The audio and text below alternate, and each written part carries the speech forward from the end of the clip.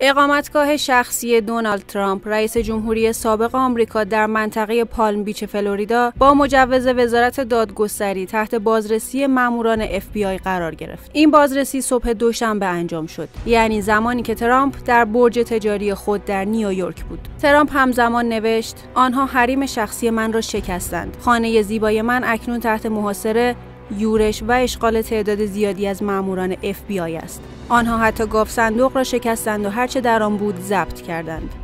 مقامات کاخ سفید می‌گویند ترامپ پیش از ترک منصب ریاست جمهوری تعدادی از اسناد محرمانه را با خود برده است. ترامپ و سیاستمداران هوادار او اما مدعیاند که این بازرسی به تحریک احزاب چپ افراطی و برای ممانعت از حضور ترامپ در انتخابات ریاست جمهوری 2024 انجام شده است.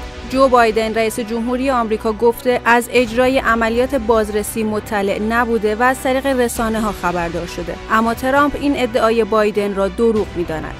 کاخ سفید در بیانیه ای تاکید کرده که تحقیقات دادگستری باید بدور از هر گونه تاثیرپذیری سیاسی انجام شود و نانسی پلوسی رئیس مجلس نمایندگان آمریکا تاکید کرده که هیچ کس فراتر از قانون نیست. حتی رئیس جمهوری سابق. از سوی دیگر سناتور جمهوری خواه لیندسی گراهام با انتقاد از اتفاقات اخیر تاکید کرده که انجام این بازرسی فراتر از یک مشکل عادی است. در حال حاضر دو پرونده حقوقی علیه ترامپ از جمله تلاش برای تغییر نتایج انتخابات 2020 و همچنین انتقال پرونده های طبقه بندی شده کاخ سفید در جریان است پیشتر هم 15 جعبه از اطلاعات مهم و محرمانه کاخ سفید از اقامتگاه شخصی ترامپ به مرکز حفظ اسناد محرمانه کاخ سفید بازگردانده شده بود.